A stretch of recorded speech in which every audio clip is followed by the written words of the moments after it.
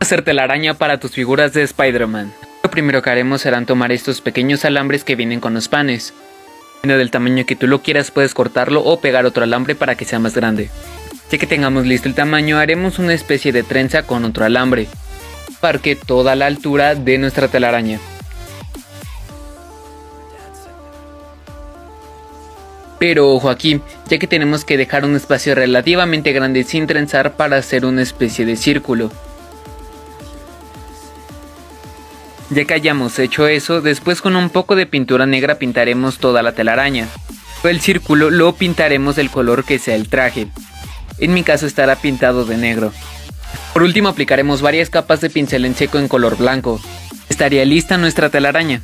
No te olvides que si te gustó puedes dejarme un bonito like. Chao.